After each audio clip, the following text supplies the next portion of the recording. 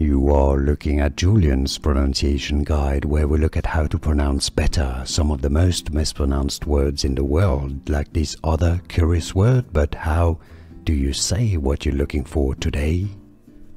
Let's learn how to pronounce this word. It's from biology, it's a type of uh, plant. It's an adjective if you want to learn more confusing vocabulary in English and some of the longest words and more difficult to pronounce as well.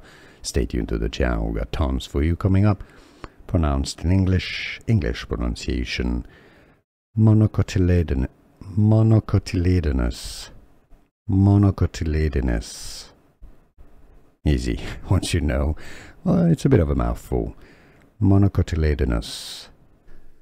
Here are more videos on how to pronounce more confusing words and names too many mispronounced. Like this video if you found it useful, I appreciate your support. I'll see you soon and thanks for watching.